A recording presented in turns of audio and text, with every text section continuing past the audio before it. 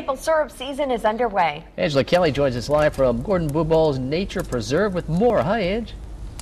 Hey guys, the Gordon Bubolz Nature Preserve is in Grand Chute, and right now we're in one of their new sugar shacks. And you can see here they've got some sap right out of the maple trees that's being boiled. And uh, Josh Bray here, they call him the Sap Meister. You were stoking the fire. How is the season doing? The season's doing wonderful. Why, in Sap what is terms? flowing. Sap is flowing well out of the trees. Um, and we think that's because the temperatures, um, as everybody knows, have been really cold uh, at night and then really nice and warm during the day, which gets those trees all excited and they start the sap flowing.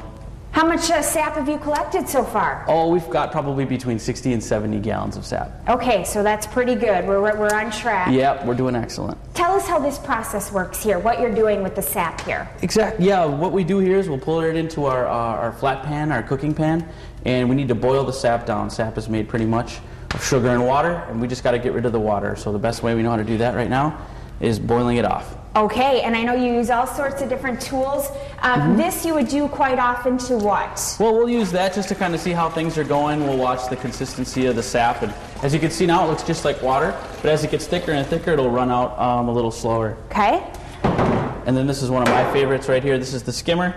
And so we'll skim off bubbles, and we call it the sap scum, um, which is full of all those good nutrients and minerals and sweet sugar. So does this have to have a lot to go through before it actually becomes maple syrup? Yeah, it has to go through quite a process. It'll take a long time. For a full pan like this, it would take at least a day to boil it down to the point where we could pour it out of the pan and into a finishing pot, mm-hmm. and then we would cook it to that perfect temperature and then filter it. There's three filters between now and, and then bottling it into a, a syrup container. Okay, and it takes how much? takes a ton just to make a bottle It of syrup. does. Uh, it takes about a full pan or about 40 gallons of sap just to get one gallon of maple syrup. Wow. Well, why don't you take a look at your screen because here is an event that you can attend here at the Gordon Bubolz Nature Preserve that'll teach you all about this process. It's Maple Syrup Saturday. Can you tell us a little bit about it, Josh? Absolutely, it's coming up on March 26th, so you can come out. Um, you can come out early. I think it starts around 9 o'clock. You can get a breakfast, pancake and porky breakfast,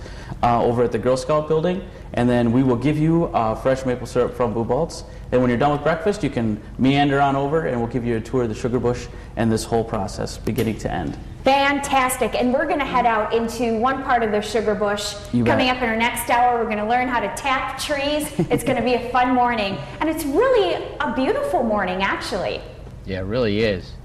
Very mild, perfect for maple syrup season.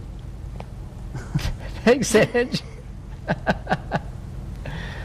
it's 548. See ya. See ya. I didn't know she was that excited to do it. Well,